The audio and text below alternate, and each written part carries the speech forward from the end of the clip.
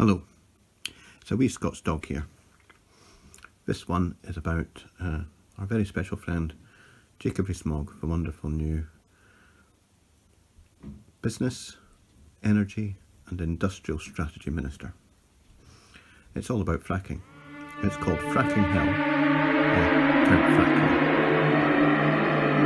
Rees-Mogg's Tory on Tory action is starting to get a reaction. A party divided, some Tories decided, down with Rees-Mogg and his fracking faction. But Rees-Mogg such a businessman he, dates right back to 1863.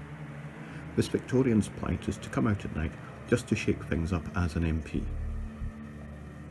Mogg claims fracking can't possibly fail. He is so high, he's off the rich turd scale.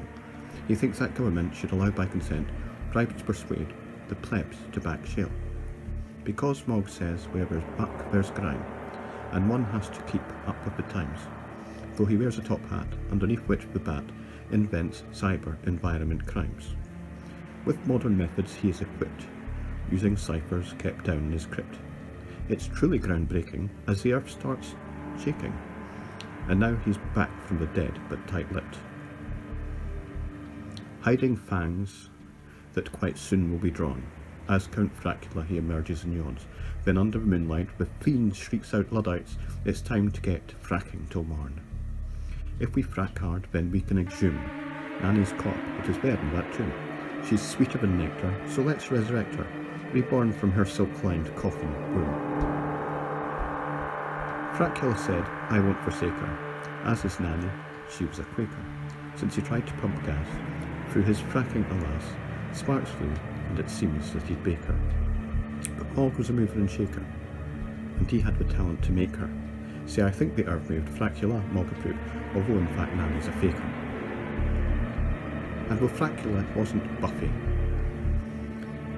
was proud of his tech enough, like to treat Nanny rough, then lay back with some snuff, well she thought was really quite stuffy.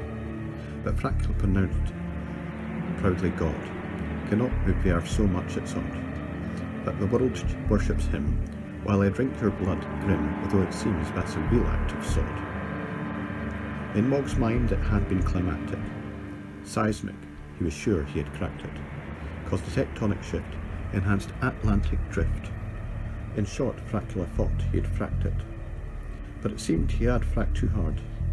In the north, which was just his backyard, everything had gone well till he fracked down to hell, and Beelzebub caught him off guard. Jacob Rees-Mogg said, I'm not a prig. Fracula's such a great frag, d'ye dig? Satan said, Dear Count, no, you did not get an O. So Count Fracula, you're now called Mig.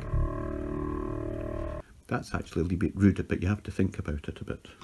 Well, it's not rude, but it could have been rude, and that's the point. Anyway, bye-bye.